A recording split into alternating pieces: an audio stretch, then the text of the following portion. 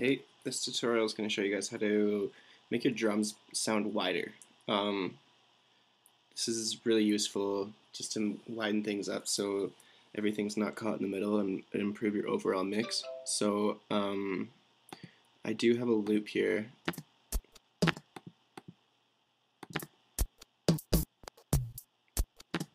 I just took out certain things from it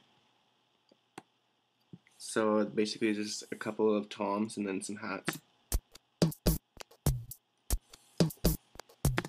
So the first thing that I did was throw a utility. Basic, this just puts it into mono, so where it says width 100%, drag that all the way to zero. You can hear the difference.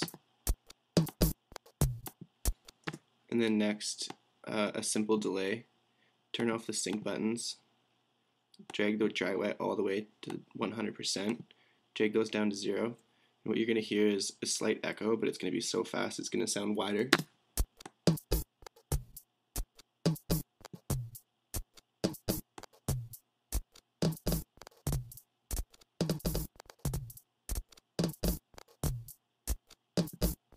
So 17 milliseconds sounds good once you add this in with some drums.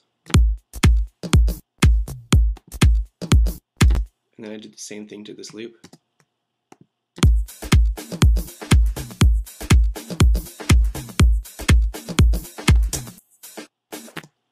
See without the stereo widening on it sounds like sounds like this.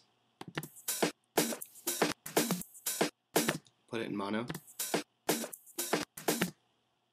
And then simple delay. Actually, for this utility, I dragged it up to 120%, which is wider than normal. It all just takes time to play with different things. And then I have another loop here.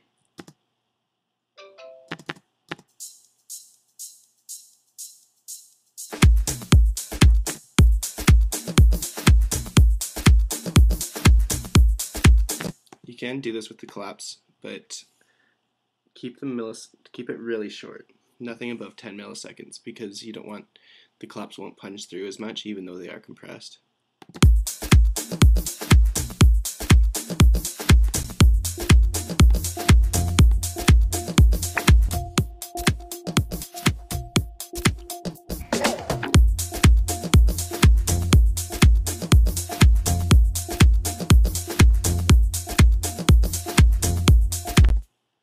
That's basically the, oh, that's the tutorial. Thanks for watching and leave some feedback.